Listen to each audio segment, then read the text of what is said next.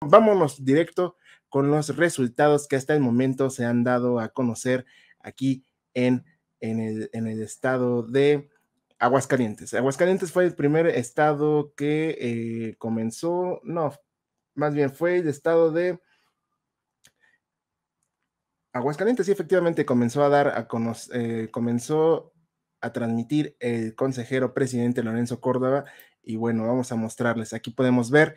como primer, primer resultado preliminar, podemos, podemos ver que Nora Rubalcaba de Morena obtuvo un límite mínimo de 32.7%, mientras que su máximo que podría alcanzar es de 35.3%. También tenemos ahí a la candidata del PT Verde que declinó a favor de Nora y que terminó, pues bueno, sumándose a la campaña. Sin embargo, la pues en este, en este caso la competidora de la coalición eh, opositora está obteniendo el triunfo, por decirlo de cierta forma, como informa este conteo rápido que da a conocer el INE, que es el 51.5% de la preferencia electoral, mientras que el máximo que obtendría sería un 54.9% de la elección en Aguascalientes. Repito, en este estado, en este estado que estuvo lleno de, digamos, eh, como le venimos informando, de varias cosas, varios eh, hechos este,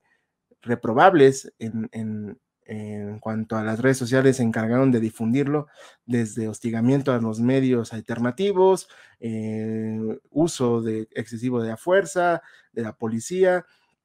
Y bueno, evidentemente eso, eso va a quedar registrado en las actas que van a estar haciendo las denuncias los partidos correspondientes y evidentemente se trata de eh, esta eh, gubernatura en Aguascalientes que podríamos decir